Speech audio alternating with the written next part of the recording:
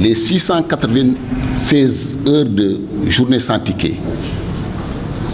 correspondant à 29 jours où les étudiants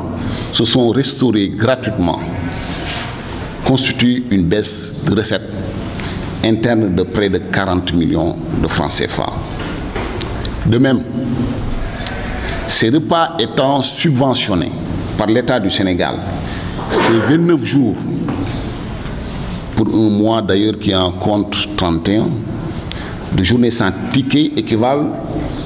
à 360 millions de francs CFA que le CRUS devra payer aux repreneurs qui se sont acquittés de leur devoir, à savoir préparer et servir aux étudiants 40, 443 714 repas pour cette période. Une telle situation, comme vous le constatez, ne peut prospérer au risque de détruire notre outil de travail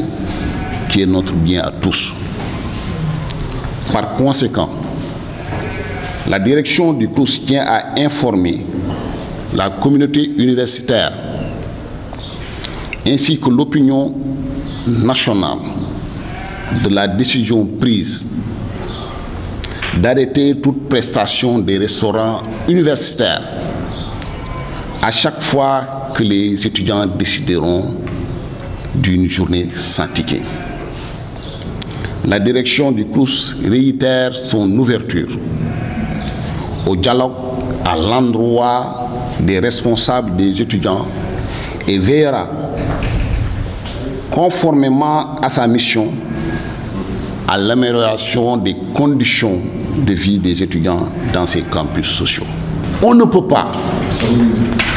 et on ne peut pas, le, le budget du CRUS ne peut pas, en tout cas, soutenir cette,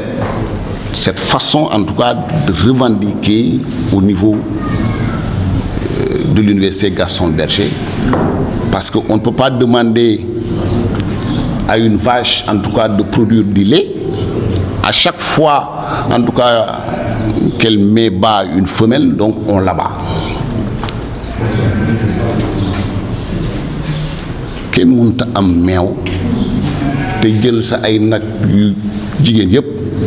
bu si juddoo rek nga rey mënta nekk c'est impossible donc vraiment c'est pourquoi d'ailleurs je m'en vais vous lire